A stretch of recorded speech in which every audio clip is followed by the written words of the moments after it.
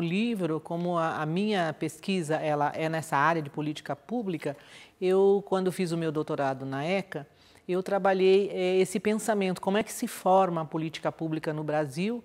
Eu optei por começar desde a época de Getúlio. É claro, você vai perguntar, ah, mas não existia política pública antes? Existem um, uns teóricos que dizem que começou quando o imperador fica no Brasil, né? Uhum. Mas isso é questionável. Então, de fato, a grande política pública é o nacionalismo imposto por Getúlio Vargas. Então, eu comecei de lá e para comprovar que ainda nós estamos nessa fase de construção de política pública, eu peguei um exemplo de uma grande teórica da cultura, a Marilena Chauí, que é filósofa da cultura, e ela esteve diretora de, é, secretária de cultura na cidade de São Paulo. Então, ela chega com projeto chamado Cidadania Cultural e tenta implementar como uma coisa colocada pela administração e tem vários, vários é, resultados negativos. Então, por isso, teoria e prática, uma grande teórica, é, sem essa consulta pública, para que a comunidade diga, olha, eu preciso que uma política pública esteja, tenha dança, tenha cinema, tenha... Então, essa base não teve. Então, quando você não tem, a política pública não funciona. Ela não tem cumplicidade, ela é negada.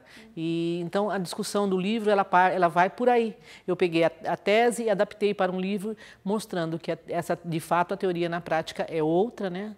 E aí faço algumas proposições de como uma, uma política pública deveria ser construída é, coletivamente, quais são as diferenças dessa, de, dessa política pública quando você tem esse aval da comunidade, ela perpassa as administrações, ela não é uma coisa estanque que começa com o primeiro dia da administração é, e termina, então, o que a gente chama na, na, na academia de politicagem.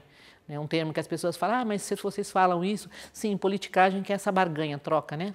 Você troca para mim, então eu te, posso te dar um festival de dança, posso te fazer um, um, uma, uma, uma, um festival de música. Mas nesse caso, quando ela já está desenhada, tudo isso perpassa isso, não há essas barganhas. O balcão das secretarias não fica balcão de negócio. A cultura ela vai ser uma educação permanente e você realmente vai educar o cidadão sem os grandes eventos. Eu não nego que é necessário ter os grandes eventos, mas o educar da cultura é uma coisa muito mais profunda que isso. Então o livro trata dessa, dessa possibilidade de construção de política pública. Né?